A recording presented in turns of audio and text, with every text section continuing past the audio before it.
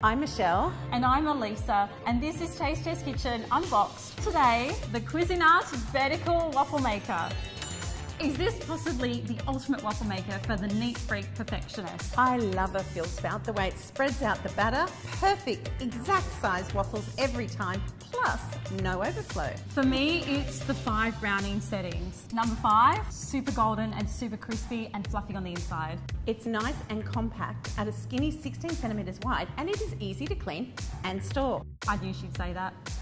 So, the verdict. If you're a waffle loving control freak like me, and you don't mind making one waffle at a time. At a fraction of the cost of store-bought, don't forget. Plus, you can batch cook and freeze ahead. That's a tick for me. And a big tick from me. I think this is gonna get messy. I think it's gonna get really messy. okay, let's get in there.